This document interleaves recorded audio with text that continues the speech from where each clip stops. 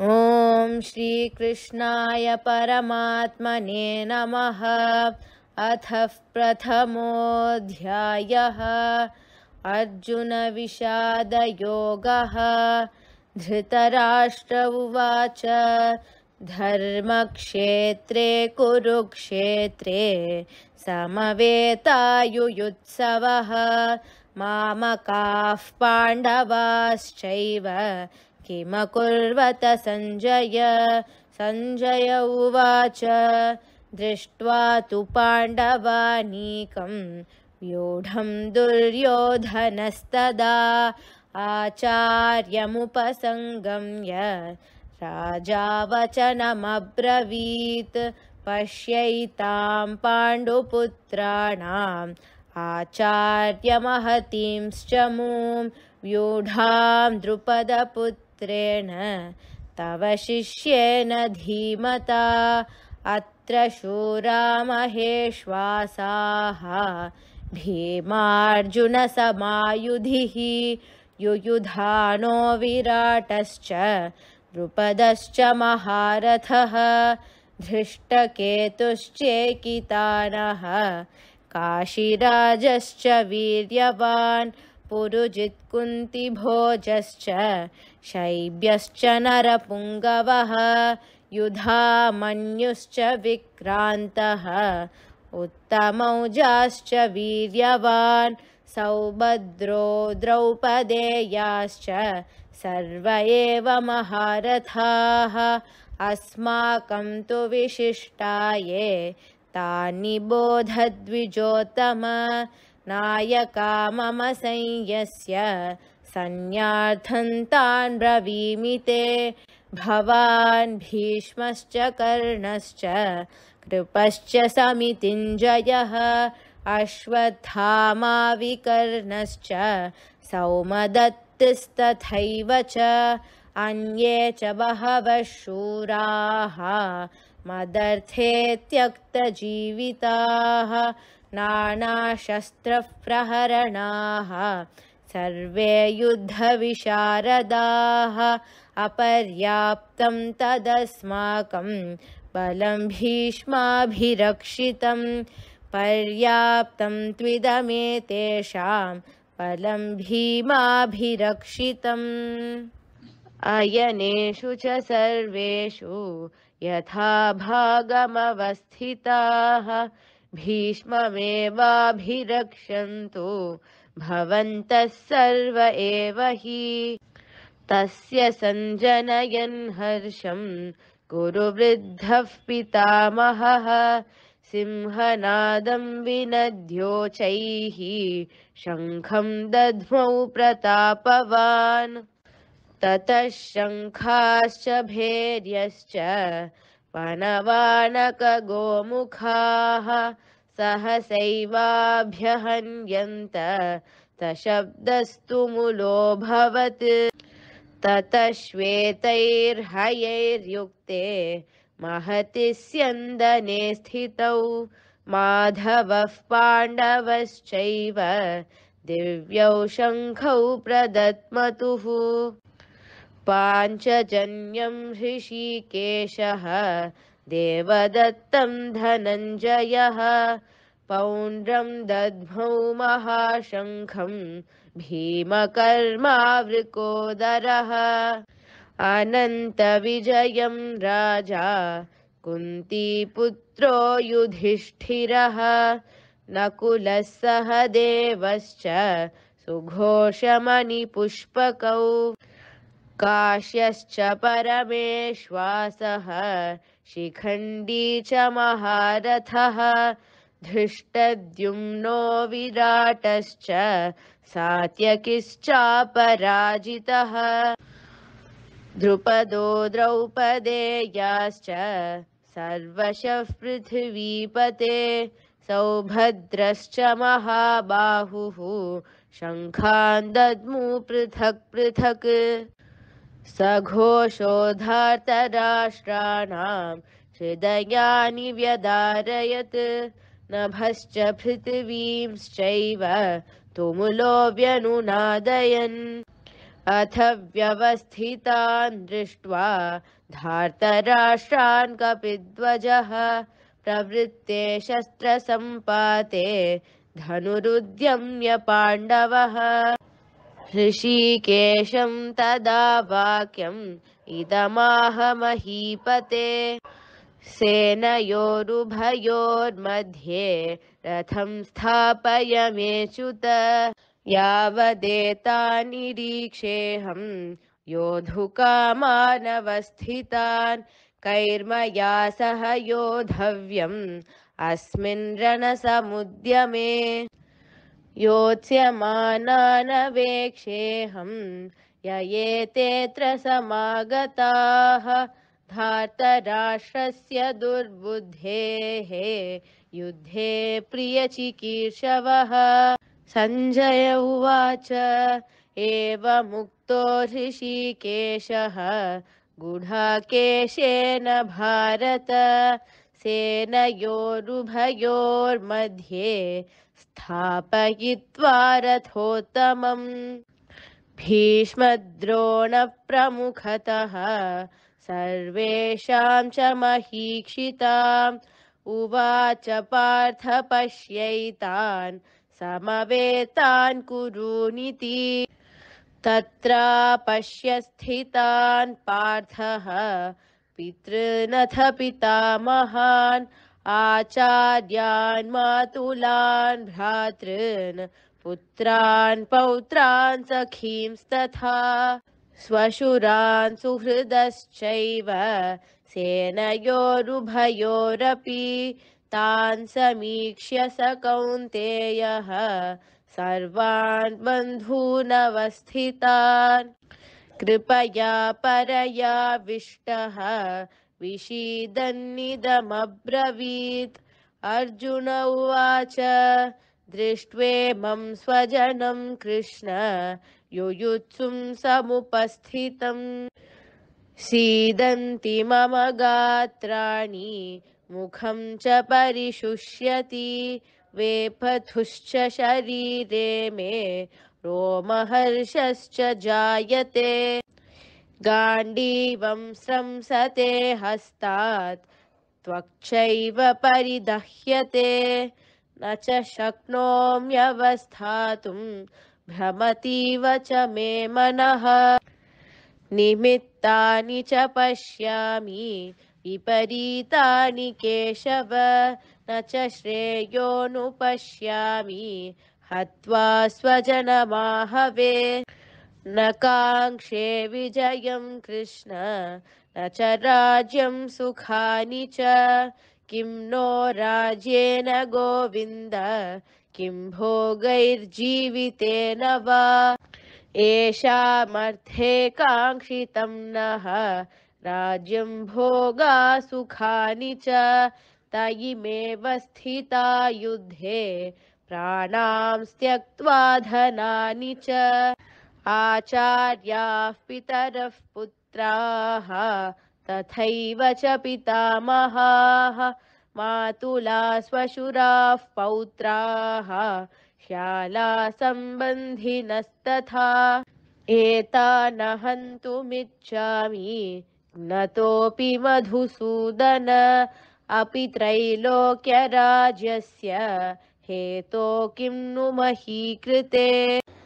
निहत्य धार्तराष्ट्रान्नः का भीतिः स्या जनार्दन पापमेवाश्रयेदस्मान् हत्वैतानाततायिनः तस्मान्नार्हा वयं हन्तुं धार्तराष्ट्रान् स्वबान्धवान् स्वजनं हि कथं हत्वा सुखिनः स्याम माधव। यद्यप्येतेन पश्यन्ति लोभोपहत चेतसः। कुलक्षयकृतं दोषं मित्रद्रोहे च पातकम्। कथं च ज्ञेयमस्माभिः पापादस्मान्निवर्तितुं कुलक्षयकृतं दोषं प्रपश्यद्भिर्जनार्दन कुलक्षये प्रणश्यन्ति। कुलधर्मा सनातनाः धर्मे नष्टे कुलं कृत्स्नम् अधर्मोऽभिभवत्युत। अधर्माभिभवात् कृष्ण। प्रदुष्यन्ति कुलस्त्रियः। स्त्रीषु दुष्टासु वार्ष्णेय। जायते वर्णसङ्करः सङ्करो नरकायैव कुलज्ञानां कुलस्य च पतन्ति पितरो ह्येषां लुप्तपिण्डोदकक्रियाः। दोषैरेतैकुलज्ञानां वर्णसङ्करकारकैः उत्साद्यन्ते जातिधर्माः कुलधर्माश्च शाश्वताः उत्सन्नकुलधर्माणां मनुष्याणां जनार्दन नरके नियतं वासः भवतीत्यनुशुश्रुम। अहो बत महत्पापं कर्तुं व्यवसिता वयं यद्राज्यसुखलोभेन हन्तुं स्वजनमुद्यताः। यदि मामप्रतीकारम् अशस्त्रं शस्त्रपाणयः धार्तराष्ट्रारणे हन्युः तन्मे क्षेमतरं भवेत्। सञ्जय उवाच एवमुक्त्वार्जुनः सङ्ख्ये रथोपस्थ उपाविशत् विसृज्य सशरं चापं शोकसंविघ्नमानसः।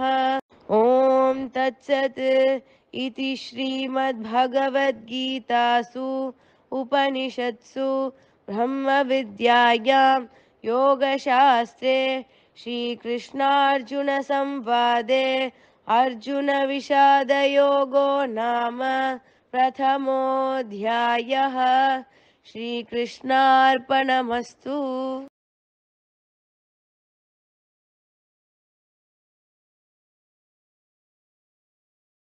ॐ श्रीकृष्णाय परमात्मने नमः। अथ द्वितीयोऽध्यायः। साङ्ख्ययोगः। सञ्जय उवाच। तं तथा कृपयाविष्टम्। अश्रुपूर्णाकुलेक्षणं विषीदन्तमिदं वाक्यम्। उवाच मधुसूदनः। श्रीभगवानुवाच कुतस्त्वाकश्मलमिदं विषमे समुपस्थितम् अनार्यजुष्टमस्वर्ग्यम् अकीर्तिकरमर्जुन। क्लैब्यं मास्मगमः पार्थ नैतत्त्वय्युपपद्यते क्षुद्रं हृदय दौर्बल्यं त्यक्त्वोत्तिष्ठ परन्तप अर्जुन उवाच कथं भीष्ममहं सङ्ख्ये द्रोणं च मधुसूदन इषुभिः प्रतियोत्स्यामि पूजार्हावरिसूदन। गुरून् हत्वा हि महानुभावान् श्रेयो भोक्तुं भैक्ष्यमपीह लोके हत्वार्थकामांस्तु गुरूनिहैव भुञ्जीय भोगान् रुधिरप्रदिग्धान् न चैतद्विद्मः कतरन्नो गरीयः यद्वा जयेम यदि वा नो जयेयुः। यानेव हत्वा न जिजीविषामः। तेव स्थिताः प्रमुखे दातराष्ट्राः। कार्पण्यदोषोपहतः स्वभावः पृच्छामि त्वां धर्मसम्मूढचेताः। यच्छ्रेयस्यां निश्चितं ब्रूहि तन्मे। शिष्यस्तेऽहं शाधि मां त्वां प्रपन्नम् न हि प्रपश्यामि ममापनुद्यात्। यच्छोकमुच्छोषणमिन्द्रियाणाम्।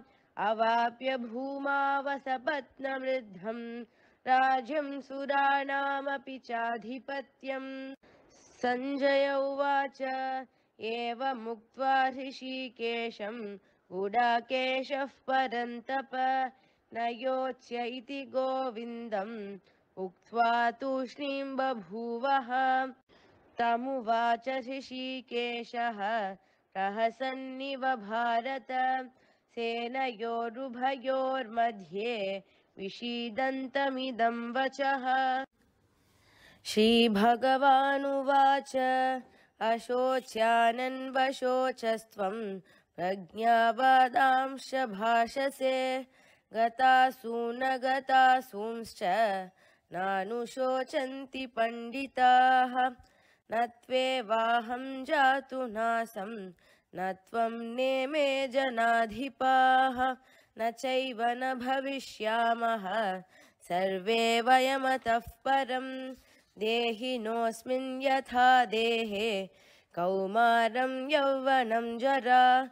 तथा देहान्तरः प्राप्तिः। धीरस्तत्र न मुह्यति। मात्रा स्पर्शास्तु कौन्तेय। शीतोष्णसुखदुःखदाः आगमापायिनो नित्याः तांसि तिक्षस्व भारत। यं हि न व्यतयन्त्येते पुरुषं पुरुषर्षभ समदुःखसुखं धीरं सोऽमृतत्वाय कल्पते नासतो विद्यते भावः नाभावो विद्यते सतः उभयोरपि दृष्टोऽन्तः त्वनयोस्तत्त्वदर्शिभिः अविनाशि तु तद्विद्धि येन सर्वमिदं ततम् विनाशमव्ययस्यास्य न कश्चित् कर्तुमर्हति अन्तवन्त इमे देहाः नित्यस्योक्ता शरीरिणः अनाशिनो प्रमेयस्य तस्मात् युध्यस्व भारत ययेनं वेति हन्तारं यश्चैनं मन्यते हतम् उभौ तौ न विजानीतः। नायं हन्ति न हन्यते। न जायते म्रियते वा कदाचित्। नायं भूत्वा भविता वा न भूयः। अजो नित्यः शाश्वतोऽयं पुराणः। न हन्यते हन्यमाने शरीरे। वेदाविनाशिनं नित्यं ययेनमजमव्ययं कथं स पुरुषः पार्थ? कं घातयति हन्तिकं? वासांसि जीर्णानि यथा विहाय। नवानि गृह्णाति नरोपराणि। तथा शरीराणि विहाय जीर्णानि। अन्यानि संयाति नवानि देहि। नैनं चिन्दन्ति शस्त्राणि। नैनं दहति पावकः न चैनं क्लेदयन्त्यापः न शोषयति मारुतः। अच्छेद्योऽयमदाह्योऽयम् अक्लेद्यो शोष्य एव च।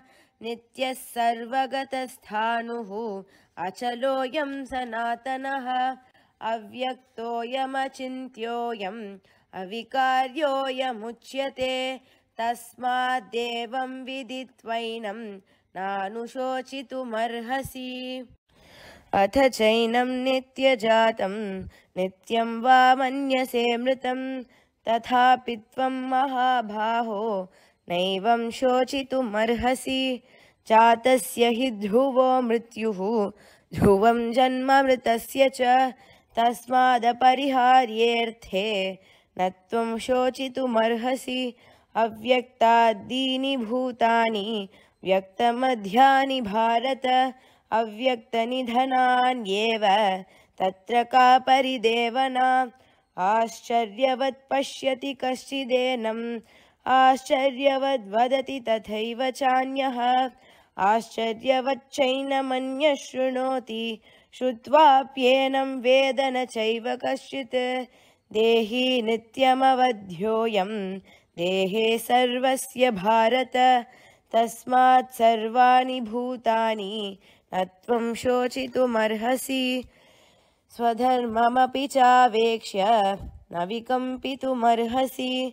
धर्म्याधियुद्धाश्रेयोऽन्यत् क्षत्रियस्य न विद्यते। यदुच्छया चोपपन्नं स्वर्गद्वारमपावृतं। सुखिनः क्षत्रियाः पार्थ लभन्ते युद्धमीदृशम् अथ चेत्त्वमिमं धर्म्यं सङ्ग्रामं न करिष्यसि ततः स्वधर्मं कीर्तिं च हित्वा पापमवाप्स्यसि। अकीर्तिं चापि भूतानि कथयिष्यन्ति ते व्ययां सम्भावितस्य चाकीर्तिः मरणादतिरिच्यते वयाद्रणादुपरतं मन्स्यन्ते त्वां महारथाः येषां च त्वं बहुमतः भूत्वा यास्यसि लाघवम्। अवाच्यवादांश्च बहून् वदिष्यन्ति तवाहिताः। निन्दन्तस्तव सामर्थ्यं ततो दुःखतरं नु किम्? हतो वा प्राप्स्यसि स्वर्गं जित्वा वा भोक्ष्यसे महीं तस्मादुत्तिष्ठ कौन्तेय युद्धाय कृतनिश्चयः सुखदुःखे समे कृत्वा लाभालाभौ जया जयौ ततो युद्धाय युज्यस्व नैवं पापमवाप्स्यसि एषा ते विहिता साङ्ख्ये बुद्धिर्योगे त्विमां शृणु बुद्ध्या युक्तो ययाः पार्थ। कर्मबन्धं प्रहास्यसि नेहाभिक्रमनाशोऽस्ति प्रत्यवायो न विद्यते स्वल्पमप्यस्य धर्मस्य। त्रायते महतो भयात् व्यवसायात्मिका बुद्धिः। एकेह कुरु नन्दन बहुशाखा ह्यनन्ताश्च बुद्धयो व्यवसायिनां। यामिमां पुष्पितां वाचं प्रवदन्त्यविपश्चितः वेदवादरताः पार्थ नान्यदस्तीति वादिनः कामात्मानस्वर्गपराः जन्मकर्मफलप्रदां क्रियाविशेषबहुलां भोगैश्वर्यगतिं प्रति भोगैश्वर्यप्रसक्तानां। तयापहृतचेतसां व्यवसायात्मिका बुद्धिः। समाधौ न विधीयते त्रैगुण्यविषया वेदाः। निस्त्रैगुण्यो निर्द्वन्द्वो नित्यसत्वस्थः निर्योगक्षेम आत्मवान् यावन् यावानर्थ उदपाने। सर्वतः सम्प्लुतोदके तावान् सर्वेषु वेदेषु ब्राह्मणस्य विजानतः। कर्मण्येवाधिकारस्ते। मा फलेषु कदाचन। मा कर्मफलहेतुर्भूः मा ते सङ्गोऽस्त्वकर्मणि योगस्थः कुरु कर्माणि। सङ्गं त्यक्त्वा धनञ्जय। सिद्ध्यसिद्ध्योः समो भूत्वा। समत्वं योग उच्यते। दूरे न ह्यवरं कर्म। धनञ्जय बुद्धौ शरणमन्विच्च कृपणाः फलहेतवः बुद्धियुक्तो जहातीह। उभे सुकृतदुष्कृते। तस्माद्योगाय युज्यस्व। योगः कर्मसु कौशलं कर्मजं बुद्धियुक्ता हि। फलं त्यक्त्वा मनीषिणः। जन्मबन्धविनिर्मुक्ताः।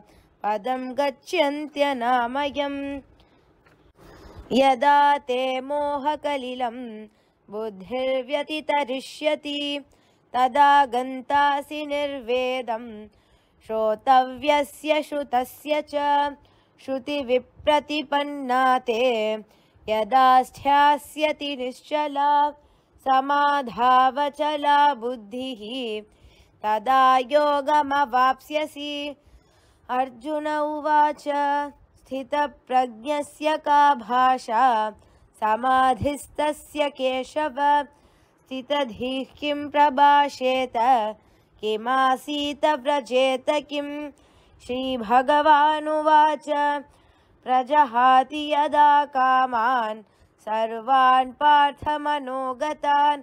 आत्मन्येवात्मना तुष्टः स्थितप्रज्ञस्ततोच्यते दुःखेष्वनुद्विग्नमनाः।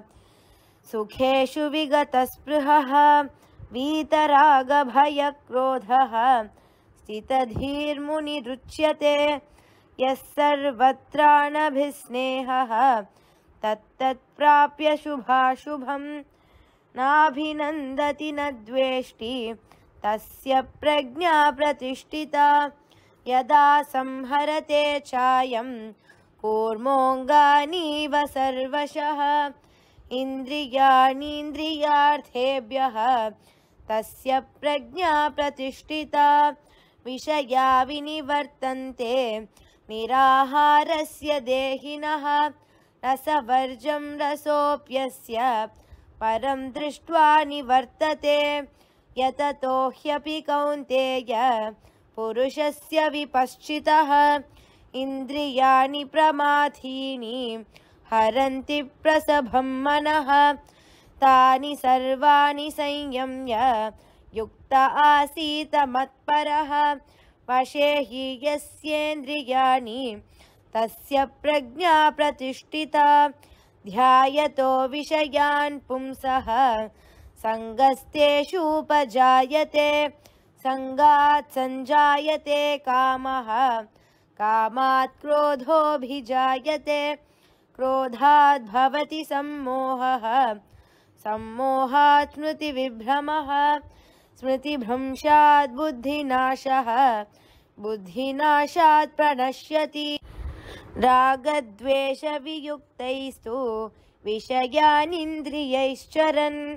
आत्मवश्यैर्विधेयात्मा। प्रसादमधिगच्छति प्रसादे सर्वदुःखानां हानिरस्योपजायते। प्रसन्नचेतसो ह्याशुः। बुद्धिः पर्यवतिष्ठते।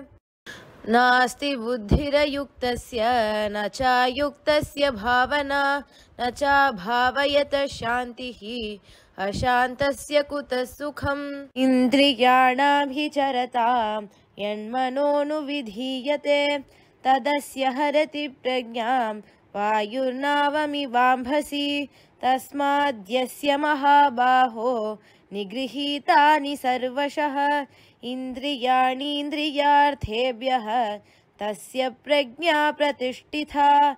या निशा सर्वभूतानां तस्यां जागर्ति संयमी।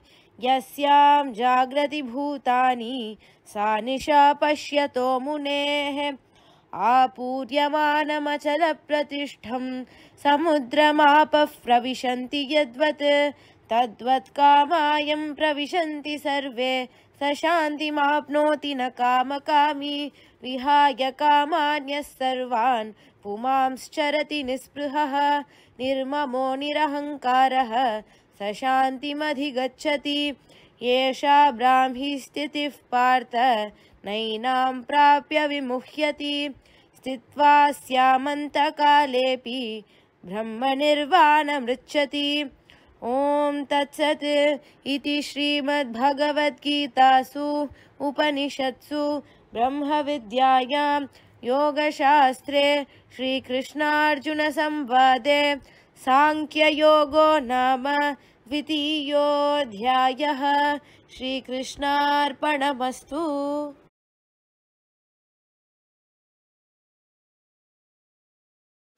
ॐ श्रीकृष्णाय परमात्मने नमः।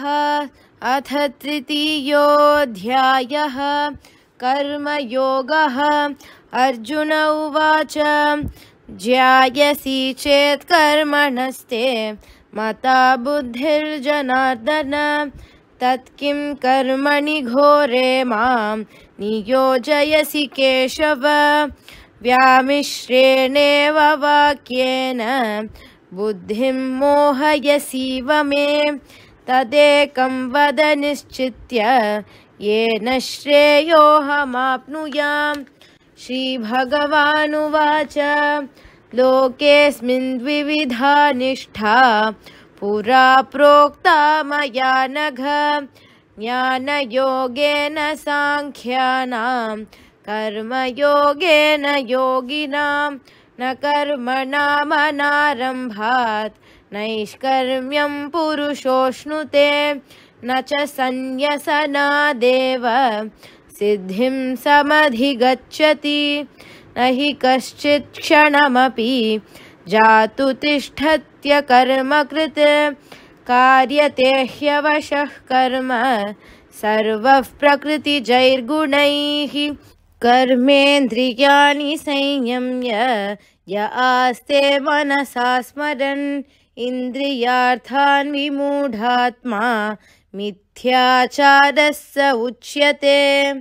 यस्त्विन्द्रियाणि मनसा नियम्यारभतेऽर्जुन कर्मेन्द्रियैः कर्मयोगम् असक्तः स विशिष्यते नियतं कुरु कर्म त्वं। कर्मज्ञायो ह्यकर्मणः। शरीरयात्रापि च ते न प्रसिद्ध्येद कर्मणः यज्ञार्थात् कर्मणोऽन्यत्र लोकोऽयं कर्मबन्धनः तदर्थं कर्म कौन्तेय मुक्तसङ्गसमाचर सह यज्ञाः प्रजा सृष्ट्वा पुरोवाच प्रजापतिः। अनेन प्रसविष्यध्वम् एष वोऽस्विष्टकामधुक् देवान् भावयतानेन ते देवा भावयन्तु वः। परस्परं भावयन्तः श्रेयः परमवाप्स्यथ इष्टान् भोगान् हि वो देवाः दास्यन्ते यज्ञभाविताः तैर्दत्तानप्रदायैभ्यः यो भुङ्क्तेस्तेन एव सः यज्ञशिष्टाशिनः सन्तः मुच्यन्ते सर्वकिल्बिषैः भुञ्जते ते त्वगं पापाः ये पचन्त्यात्मकारणात् अन्नाद् भवन्ति भूतानि पर्जन्यादन्नसम्भवः। यज्ञाद् भवति पर्जन्यः यज्ञः कर्मसमुद्भवः कर्म ब्रह्मोद्भवं विद्धि ब्रह्माक्षरसमुद्भवं तस्मात् सर्वगतं ब्रह्म नित्यं यज्ञे प्रतिष्ठितम्। एवं प्रवर्तितं चक्रं नानुवर्तयतीह यः अघायुरिन्द्रिया रामः। मोघं पार्थ स जीवति। यस्त्वात्मरतिरेव स्यात्। आत्मतृप्तश्च मानवः। आत्मन्येव च सन्तुष्टः। तस्य कार्यं न विद्यते। नैव तस्य कृतेनार्थः नाकृते नेह कश्चन न चास्य सर्वभूतेषु कश्चिद्दर्तव्यपार्श्रयः तस्मादसक्तः सततं कार्यं कर्म समाचर असक्तो ह्याचरन् कर्म परमाप्नोति पूरुषः। कर्मणैव हि संसिद्धिम् आस्थिता जनकादयः लोकसङ्ग्रहमेवापि सम्पश्यन् कर्तुमर्हसि यद्यदाचरति श्रेष्ठः तत्तदेवेतरो जनः स यत्प्रमाणं कुरुते लोकस्तदनुवर्तते न मे पार्थास्ति कर्तव्यं त्रिषु लोकेषु किञ्चन नानवाप्तमवाप्तव्यं वर्त एव च कर्मणि यदि ह्ययं न वर्तेयं जातु कर्मण्यतन्द्रितः मम वर्त्मानुवर्तन्ते मनुष्याः पार्थ सर्वशः। उत्सीदेयुरिमे लोकाः। न कुर्यां कर्म चेदहं शङ्करस्य च कर्ता स्याम् उपहन्यामि माः प्रजाः। सक्ताः कर्मण्यविद्वांसः यथा कुर्वन्ति भारत कुर्याद्विद्वांस्तथा सक्तः चिकीर्षुर्लोकसङ्ग्रहम्। न बुद्धिभेदं जनयेद् अज्ञानं कर्मसङ्गिनां जोषयेत् सर्वकर्माणि विद्वान् युक्तः समाचरन्। प्रकृतेः क्रियमाणानि गुणैः कर्माणि सर्वशः। अहङ्कारविमूढात्मा कर्ताहमिति मन्यते तत्त्ववित्तु महाबाहो गुणकर्मविभागयोः गुणागुणेषु वर्तन्ते इति मत्वा न सज्जते प्रकृतेर्गुणसम्मूढाः। सज्जन्ते गुणकर्मसु तान् कृत्स्नविदो मन्दान् कृत्स्नविन्न विचालयेत् मयि सर्वाणि कर्माणि सन्न्यस्याध्मन्यचेतसा निराशीर्निर्ममो भूत्वा युध्यस्व विगतज्वरः। ये मे मतमिदं नित्यम् अनुतिष्ठन्ति मानवाः। श्रद्धावन्तो न सूयन्तः मुच्यन्ते तेऽपि कर्मभिः। ये त्वेतदभ्यसूयन्तः नानुतिष्ठन्ति मे मतं सर्वज्ञानविमूढांस्तान् विद्धि नष्टान चेतसः। सदृशं चेष्टते स्वस्याः प्रकृतेर्ज्ञानवानपि।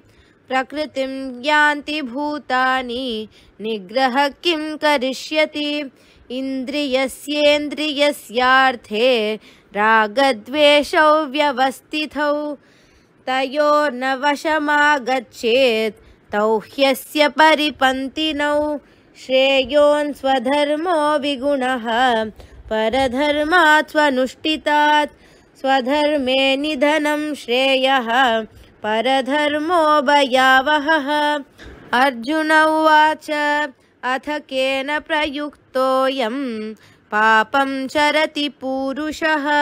अनिच्छन्नपि वाष्णेय बलादिव नियोजितः श्रीभगवानुवाच काम एष क्रोध एषः रजोगुणसमुद्भवः महाशनो महापाप्मा विद्येनमिह वैरिणं धूमेनाव्रियते वह्निः। यथा दर्शो मलिन च यथोल्बेनावृतो गर्भः तथा तेनेदमावृतम् आवृतं ज्ञानमेतेन ज्ञानिनो नित्यवैरिणा। कामरूपेण कौन्तेय दुष्पूरेणानलेन च। इन्द्रियाणि मनो बुद्धिः अस्याधिष्ठानमुच्यते एतैर्विमोहयत्येष ज्ञानमावृत्तदेहिनं तस्मात् त्वमिन्द्रियाण्यादौ नियम्य भरतर्षभ पाप्मानं प्रजहिह्येनं ज्ञानविज्ञाननाशनम् इन्द्रियाणि पराण्याहुः इन्द्रियेभ्यः परं मनः मनसस्तु परा बुद्धिः यो बुद्धेः परतस्तु सः एवं बुद्धेः परं बुद्ध्वा संस्तभ्यात्मानमात्मना। जहि शत्रुं महाबाहो कामरूपं दुरासदम्। ॐ तत्सत् इति श्रीमद्भगवद्गीतासु उपनिषत्सु ब्रह्मविद्यायां योगशास्त्रे श्रीकृष्णार्जुनसंवादे। कर्मयोगो नाम तृतीयोऽध्यायः श्रीकृष्णार्पणमस्तु